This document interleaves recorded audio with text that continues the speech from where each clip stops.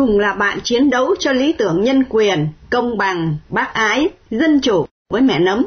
Nhưng cô Thanh Nghiên vì lý do bất khả kháng đã không thể đến tham dự phiên tòa xử như Quỳnh.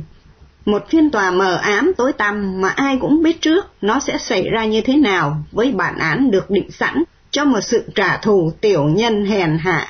Trong tiết mục chuyện nước non mình, chúng tôi xin gửi đến quý thính giả đài đáp lời sông núi, bài viết có tựa đề Lỡ hẹn với Quỳnh của Phạm Thanh Nghiên sẽ được chính tác giả trình bày để tiếp nối chương trình tối hôm nay. Như vậy là sau hơn 8 tháng bị giam cầm, mẹ nấm Nguyễn Ngọc Như Quỳnh cũng sẽ được đưa ra tòa án xét xử và kết tội, gọi là được đưa ra tòa vì thời gian bị giam cầm trong trại tạm giam để điều tra của Quỳnh so với nhiều người tù cùng chí hướng khác ngắn hơn. Nhưng chớ tưởng đấy là chính sách nhân đạo của Đảng và Nhà nước Cộng hòa xã hội chủ nghĩa Việt Nam. Khoan nói về sức ép quốc tế và công luận áp đặt lên nhà cầm quyền qua vụ bắt Quỳnh. Không ai biết trong 8 tháng qua chuyện gì đã xảy ra với blogger này trong bốn tường nhà giam. Mẹ của Quỳnh, bà Nguyễn Thị Tuyết Lan không được biết bất cứ một tin tức nào về con gái mình.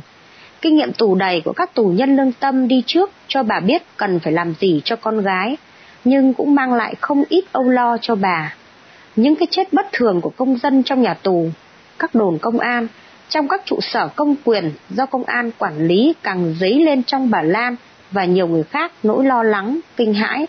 Chưa kể tội của Quỳnh, ngoài việc đấu tranh cho tự do nhân quyền, còn dám chống lại Formosa, bảo vệ môi trường và tài đình hơn, còn cùng với mạng lưới blogger Việt Nam thu thập tài liệu về các vụ công dân chết trong đồn công an. Chỉ từng ấy lý do thôi, chúng ta có thể hình dung phần nào những khó khăn, hiểm nguy mà blogger này phải đối diện trong nhà tù. Phiên tòa của Quỳnh chắc chắn sẽ lại là một phiên xử kín như đã từng diễn ra như thế với tất cả những người bất đồng chính kiến, mặc dù nó cũng được dán nhãn xét xử công khai như ai, và bản án sẽ lại là một án bỏ túi mà số năm tù không phụ thuộc vào tội trạng, vì làm gì có tội, mà sẽ được định đoạt bởi những kẻ bảo vệ chế độ độc tài, một phần nhỏ phụ thuộc vào thái độ của người bị cầm tù. Thỏa hiệp hoặc đầu hàng với cái ác, cái xấu với bạo quyền sẽ lãnh một bản án mềm hơn là ngẩng cao đầu không khuất phục. Chỉ còn một ngày nữa là diễn ra phiên tòa công khai xét xử Nguyễn Ngọc Như Quỳnh, nhưng mẹ của blogger này vẫn chưa và có thể sẽ không được cấp giấy vào tham dự phiên tòa kết tội con gái mình. Trên Facebook cá nhân, bà Nguyễn Thị Tuyết Lan bày tỏ, sáng nay lúc 11 giờ 15 ngày 19 tháng 6, tôi đã đến tòa án tỉnh Khánh Hòa để hỏi về việc tôi chưa có giấy mời để tham dự phiên tòa xét xử công khai con gái tôi là Nguyễn Ngọc Như Quỳnh như công bố của tòa án tỉnh Khánh Hòa. Cô thư ký Trịnh Thị Biên trả lời rằng vì đây là phiên tòa đặc thù nên tôi không được tham dự. Hết trích. Bà Lan sau đó đã phải làm đơn yêu cầu Tòa án Nhân dân tỉnh Khánh Hòa cấp giấy cho bà tham dự phiên tòa, nhưng đến nay vẫn chưa nhận được hồi âm. Trên thực tế, mọi công dân đều được quyền tham dự đến quan sát các phiên tòa công khai và tất cả những hành vi ngăn cấm gây khó khăn cho công dân thực thi quyền này đều vi phạm pháp luật. Bà Lan và mọi công dân khác đều có quyền tham dự tòa mà không phải làm đơn hay xin tỏ dưới bất cứ hình thức nào. Có rất nhiều lý do được tòa án đưa ra để ngăn cản quyền tiếp cận phiên tòa của công dân, nhưng có lẽ đây là lần đầu tiên khái niệm phiên tòa đặc thù được đưa ra sử dụng, không khỏi nực cười với cách phát ngôn và tư duy của những người cộng sản Xong có lẽ cô Trịnh Thị Biên nói đúng.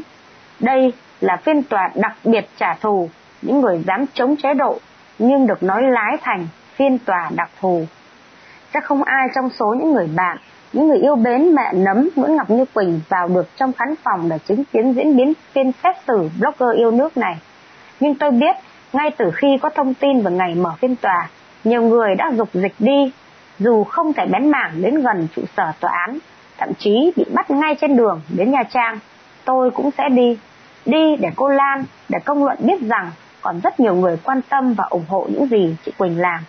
Một người bạn của tôi và của Quỳnh đã tâm sự như thế, với tư cách là một người chị, một người bạn và người đồng sáng lập ra mạng lưới blogger Việt Nam.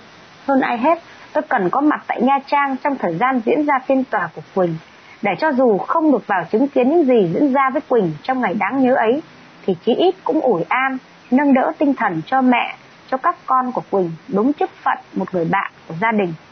Sức khỏe tôi không tốt, lại đang trong thời kỳ thai ngán, khiến tôi không thể bước chân ra khỏi nhà. Thậm chí, ngồi trên máy tính một tiếng đồng hồ cũng là điều quá sức với tôi trong thời gian này. Nghĩ đến Quỳnh, tôi sóc xa nhận ra rằng những người hoạt động nhân quyền khi bị bắt giam thường phải đối mặt với hai bản án. Một là bản án của chế độ độc tài và hai chính là bản án của công luận áp đặt lên mình. Người yêu mến, đồng tình thì khen ngợi, thậm chí ca ngợi, bày tỏ sự đồng cảm hay bênh vực cho dù nhân vật có thể thể hiện thái độ không cứng lắm, ví dụ nhận tội chẳng hạn, trước tòa, một hành động ít được công luận mong chờ. Kẻ không ưa, thậm chí đố kỵ, ghét, có nhiều lý do trong đó không loại trừ cả sự hiểu lầm, thì bản án công luận dành cho đương sự khắc nghiệt vô cùng. Nếu người bị ghét nhận tội trước tòa thì cả như xong, miễn bình luận. Nếu bạn thể hiện thái độ can đảm trước tòa và trong suốt thời gian ở tù, chưa chắc những người không ưa bạn sẽ có suy nghĩ khác, tích cực và công tâm hơn về bạn. Chưa biết chừng còn dính nghi án hai mang, thậm chí giả vờ đi tù hay bla bla bla. Thế mới biết, trong một số trường hợp thì bản án công luận nghiệt ngã và khó khăn không kém bản án chế độ độc tài. Người thật sự bản lĩnh và có tấm lòng ngay thẳng là người biết rõ việc mình làm, vị thế, lý tưởng của mình. Tôi đã chứng kiến khoảng thời gian hơn 10 năm, bao nhiêu người bị vào tù, bị kết tội, bao nhiêu người đã kiên cường và tiếp tục tranh đấu cho những giá trị tốt đẹp. Cũng có một vài người lặng lẽ rút lui vì nhiều lý do khác nhau. Dù thế nào, họ đều là những con người đáng trân trọng. Là một người hoạt động chung với Nguyễn Ngọc Như Quỳnh trong mạng lưới blogger Việt Nam, tôi sẽ không nói trước về thái độ của Quỳnh trong phiên tòa như đã từng giữ thái độ như thế trước mỗi phiên tòa cộng sản xét xử người yêu nước. Tôi cũng không tin sẽ có một phiên tòa công bằng của chế độ dành cho Quỳnh, bởi nếu trên đất nước này có luật pháp, có công bằng, thì đã không có những người tù lương tâm như Quỳnh và bao người khác. Nhưng tôi vẫn tin Quỳnh là người bản lĩnh như đã từng như thế, và nếu có một bản án khác thiếu công tâm ngoài bản án của chế độ, tôi tin Quỳnh vẫn luôn là người ngay thẳng, tự tin, thêm một chút sâu lắng và mặn mà của những khổ luyện trong ngục tù. Bài viết này như một lời tạ lỗi gửi tới Quỳnh, tới cô Lan và hai bé nấm gấu. Ngày người ta đưa Quỳnh ra xử vì tội yêu nước, tôi đau đớn không thể có mặt cùng người bạn đồng hành thân yêu của tôi. Phạm Thanh Nghiên, ngày 28 tháng 6 năm 2017. Quý thính giả đang nghe chương trình phát thanh Đáp lời sông núi do lực lượng cứu quốc thực hiện.